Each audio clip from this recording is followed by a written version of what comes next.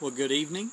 It is uh, Wednesday. I'm getting started just a little bit later. I apologize for that, but I, I, I have a message this afternoon and a devotional more so. And what I would like to share with you is I would entitle it Water Advisory. I'm going to be bringing a passage of Scripture from 2 Samuel 23 13 through 17.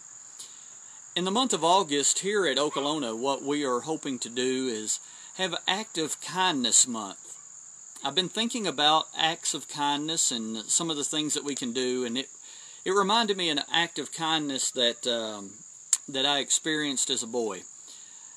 I would go to, uh, I would often spend a lot of my young days um, going to Jackson County in the McKee, Annville, Tyner area and and while there, I would spend a couple weeks, maybe uh, a week or two, with my with my grandparents, and and while there, I was able to um, uh, just spend some time with my grandpa, and and I asked him one day, I said, uh, "Hey, could I wash the Oldsmobile?" you all know I love to detail vehicles and I love to detail cars, and this was even well before I was driving. So um, my grandpa, one of the greatest men I've ever known on my mother's side, he uh, he had said to me, "You can, but please be aware that don't waste the water." If I was to give you a theme tonight, don't waste the water. He he said we have a well, and he said there's only so much water in there, and you're used to being on city water. Well, this we've been in quarantine. Many of y'all know that, and we're almost through, and so glad no symptoms. Everything's all clear here. But during this quarantine time frame, I was uh, able to detail my own vehicles. Uh, you know the old saying, uh, a plumber has a leaky sink, mechanic his car don't run, and a detailer his cars never get cleaned up. Well, I finally cleaned up my vehicles today, and I was thinking, and I was working on them yesterday as well Came in the house wanting to get a good cool drink, as I like to get it out of the refrigerator um, on the front door there, just put the cup up to it, get me a good cold drink. But yet the answering machine was flashing. I go over and I pushed it yesterday, and, and it said that there is a boil water advisory and not to drink the water. And I thought, wow, here I was, really hot, thirsty. I wanted to come in and get a drink, but I couldn't do it. You know, sometimes we take things for granted. Sometimes we're just used to always having water and everything being right there. I think often we take our God for granted, our friends for granted, and even being able to offer acts of kindness even at times like this. I want to share with you a passage of Scripture from 2 Samuel chapter 23, verses 13 through 17 is yesterday when that happened, a verse of scripture came to my mind about David and some mighty men that he had that responded to in a very kind way. The passage of scripture says this, and three of the thirty of the chief went down and came to David in the harvest time unto the cave of Adullam. And the troop of the Philistines pitched in the valley of Rephaim. And David was then and on hold, and the garrison of the Philistines was then in Bethlehem. And David longed and said, "Oh that I would give me uh, that that one would give me a drink of the water of the well of Bethlehem, which is by the gate." And the three mighty men brake through the host of the Philistines and drew water out of the well of Bethlehem that was by the gate, and took it and brought it to David. And nevertheless he would not drink thereof, but he poured it out unto the Lord. And he said, Be it far from me, O Lord, that I should do this. Is not this the blood of the men that went in jeopardy of their lives? Therefore he would not drink it. These things did he, did these three mighty men. In our culture, we really don't think so much about um, how blessed we are how blessed we are to have water, how blessed we are to have our electrics, to how blessed we are to have home, shelter, food, all these things. Many times, you know, we just go to the supermarket if we get water or we need water, but understand the culture at this time frame. This is war water.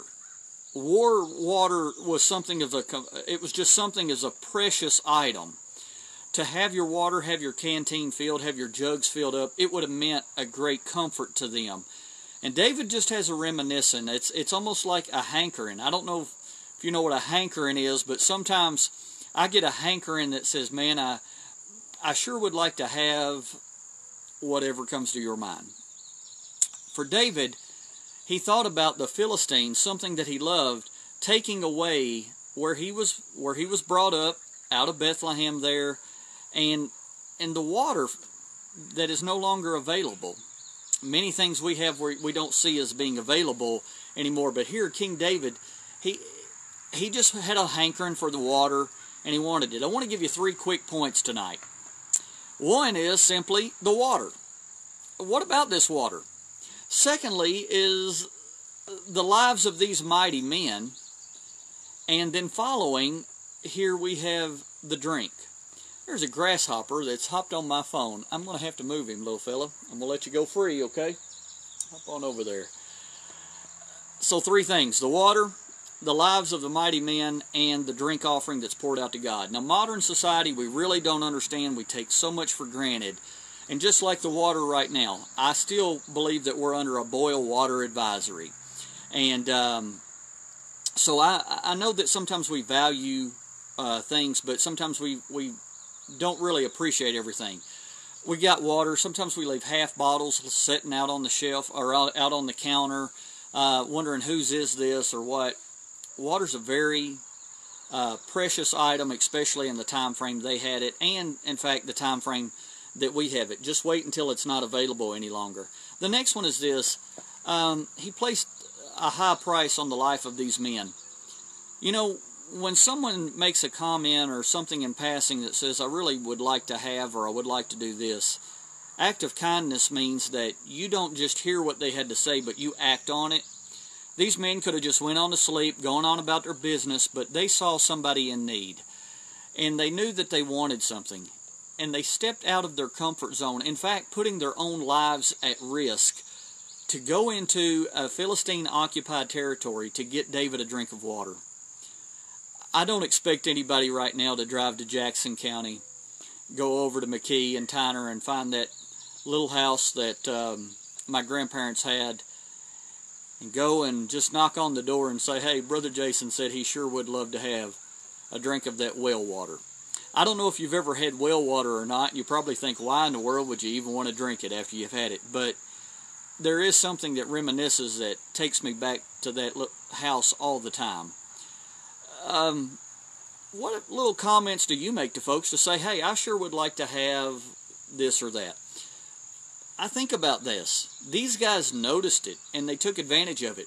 Right now, acts of kindness, we have received some amazing acts of kindness. We've received Food, folks, I've had some people drop off just items that no one would ever think that we would be in need of, but we but we've gotten them. God provides. And I'm amazed at how he has been providing at times like these. The sacrifice that people have made. These folks were willing to give of themselves and give of their lives so that someone else could just have, just being nice to somebody. Anymore, we live in a society where sacrifice, sacrificing anything, not just giving something up, but sacrificing gives a, gives a whole new meaning to what these guys did. They were willing to lay down their lives to see that someone had provisions and needs met. Well, the third one is is a valued drink offering before God. I've often studied this passage of Scripture. I've often referenced and looked back to it, and I thought, what would you do? You go to th- such extreme measures to perhaps take someone a gift. Let's just say someone dropped off a jug of water at your house. For us right now, someone dropped off a soup or dropped off um, a cake. How kind everybody has been. If you dropped off those things, what would it be if I just said, hey, thanks for this item that you had just brought me, and I turned around and said, Lord, I'm going to sacrifice this to you, and I just dumped it or poured it out? How would you feel about that? Many of you, like I would, be like, well, I'll be. You don't know what I did to go and to get that for you. You don't know what I sacrificed. You don't know the time that I gave that I would go and I would get these items for you just so you could pour it out and so that you could dump it out.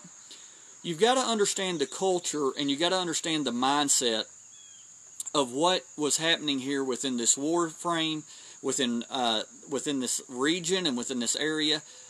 This was a sacrifice that these men made that was honorable, an honorable gift that was worthy of bringing to the Lord.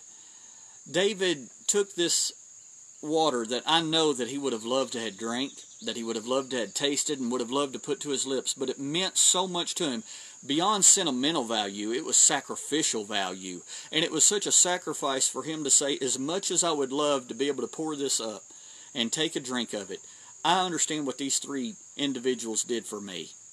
And what they did for me is honorable and acceptable before God. And he took that water and he poured it out. I don't see where these men got upset. They didn't get mad at him and say, You jerk. How could you do such a thing? uh, see if I ever do anything nice for you again. That wasn't it at all. These guys were humbled at their honored sacrifice that they had made, that David saw, thought so much of their sacrifice that they were willing, that he was willing to take it and give it unto the Lord. It's amazing when people do things nice for us and what an act of kindness can do and just being nice and kind to somebody else, I challenge you. This is Active Kindness Month that we're celebrating here at Okolona, and I'm implementing it in my own life. And it's so hard to do that at home. You folks have already displayed acts of kindness by just a kind word, by doing a deed, but pick up on what people say. Uh, see what they have need of, and try to meet and think sacrificially, not thinking of your own selves, but thinking of the needs of others. That's what we do here at Okolona, and that's what I want to do for you. Um, that's what my grandpa instilled into me at a very early age. Don't waste the water. Don't waste the moments. Don't waste the things that we've been given. And always see um, an opportunity to give and pass on something to someone else. Dear Heavenly Father, I pray as we've went through our devotion this evening it wasn't a waste. And I thank you for all those that have tuned in tonight. I hope that this is not a waste of their time. I value the moments. I value every view of someone just taking time to hear what I have to say and share about my God Almighty, who has been so good, so loving, and so kind.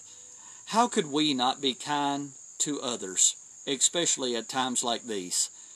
Because we have the love of you, Lord, in us, we should also want to share that love with someone else sacrificially.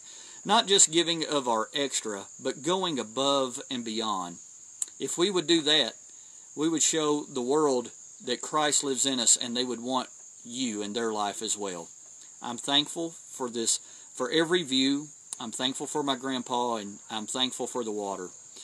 Lord, I pray for the water department. You may not, maybe many people just take it for granted and take those that work on the lines and so forth for granted. But I'm very thankful, and I say a special prayer for those that are out there working to be able to make means and provisions so that we can have these things that we take for granted. Lord, we love you, and we lift them up to you in Jesus' name. Amen. If you're still watching, I am uh, encouraged, and I want to give you just a brief update about our home and about our family. Hey, um, we are doing great. There's no symptoms, no signs.